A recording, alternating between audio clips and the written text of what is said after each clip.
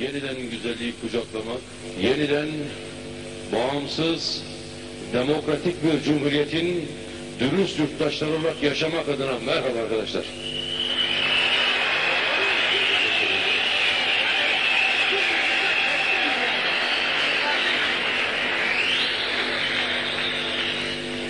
Dediğim gibi yaşamımızdaki en büyük gücümüz iş dinamiğimizden, onurumuzdan kaynaklanıyor. Biz söylenenlerin tersine ülkeyi bölmek için değil, birleştirmek için buradayız. Ve, ve söylenenlerin çok tersine tek küçücük bir dileğimiz var. Onu kaç kere söyledim, bir kere daha söylüyorum.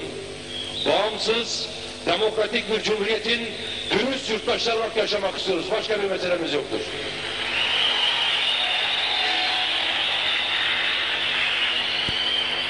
Ama bazen diyebiliyorlar. Biz gideriz. Ama dönüşümüz mutlaka muhteşem.